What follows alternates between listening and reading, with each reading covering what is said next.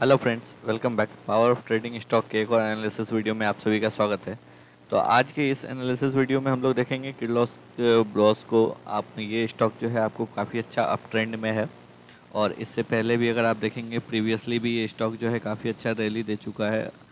Almost आपको 100 के level से ये जो है अभी आपको रिट्रेस करके फिर से 400 के लेवल पे। तो इस स्टॉक को आज हम लोगों ने इसलिए चुना है क्योंकि अगर आप मेरा प्रीवियस वीडियो देखते होंगे तो आपको पता है जो मैं इस स्ट्रेटजी को फॉलो करता हूँ और अगर आप इस स्टॉक को भी देखेंगे तो ये भी बिल्कुल जो है आपको इसी तरह हायर हाई हायर लो बना रहा है। और साथ ही साथ जो है फिर से ये आपको रिट्रेस बैक होके जो है रिट्रेस बैक होके आपको एक मूविंग एवरेज के सपोर्ट पे है। और यहीं पे इसने एक बुलिस कैंडल बनाया है।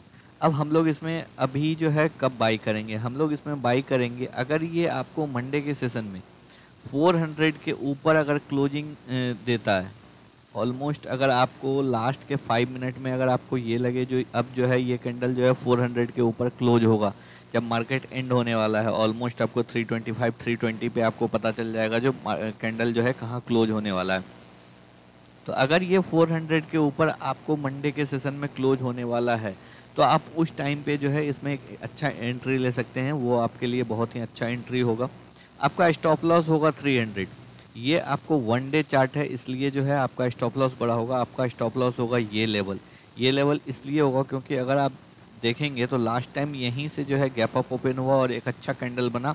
और इसके बाद से जो है रैली कंटिन्यू किया। उसके बाद से उस लेवल तक नहीं गया है। तो अगर आपको इस लेवल पे मार्केट अगर इस लेवल को ब्रेक करता है, अगर सपोज़ ये स्टॉक अगर इस लेवल को ब्रेक करता है, अगर आप इस लेवल को अगर ब्रेक करता है तो फिर जो है स्टॉक में आपको एक अच्छा करेक्शन देखने को मिल सकता है। तो इसलिए जो है ये आपको एक मेजर सपोर्ट की तरह काम करेगा। यहाँ पे आपको गैप भी है और यहाँ पे अगर आप कैंडल का स्ट्रेंथ देखेंगे तो बहुत अच्छा एक जो है बायर का स्ट्रेंथ आपको यहाँ पे दिख रहा होगा। तो इसी तरह से जो है यहाँ पे आपको जो है काफ़ी अच्छे लोग जो है बड़े बड़े लोग यहाँ पे पोजीशन बनाए होंगे और यहाँ पे अगर आप देखेंगे तो ये प्रीवियस स्विंग हाई का ब्रेकआउट भी था।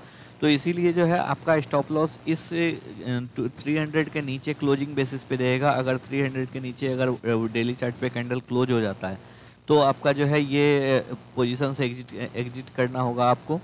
और एंट्री आपको कब करना है? अगर ये आपको 400 के ऊपर मंडे के सेशन में क्लोज देता है। अगर 400 के ऊपर मंडे के सेशन में क्लोज नहीं देता है तो फिर आपको नहीं बाई करना है। क्योंकि रैली होगा आपको 400 के कोई भी आपको पता है, जो कोई भी राउंड नंबर है 300 400 ये सब एक साइकोलॉजिकल रेसिस्टेंस की तरह भी काम करता है। और लास्ट टाइम अगर आप देखेंगे तो स्टॉक जो है यहीं से आपको बाउंस बैक किया था। तो ये लेवल जो है अब आपको एक रेसिस्टेंस की तरह काम करेगा। तो अगर ये आपको 400 के ऊपर क्लोजिंग देता है तो फिर जो है इस स्टॉक में आपको एक अच्छा रैली देखने को मिल सकता है। फिर ये स्टॉक जो है आपको 600 टू 700 का लेवल भी इसमें देखने को मिल सकता है। लेकिन पहले एक बार जो है आप इस स्टॉक को 400 के ऊपर मंडे के सेशन में क्लोज होने दीजिए। अगर सपोज़ ये मंडे के सेशन में नहीं क्लोज होता। है मंडे के सेशन में कुछ अगर इनसाइड कैंडल टाइप का बनाता है तो फिर वेट कीजिए। अगर ये ट्यूसडे के सेशन में ब्रेक करके 400 के ऊपर क्लोज होता है तो फिर आप जो है ट्यूसडे के सेशन में पोजीशन बनाइएगा।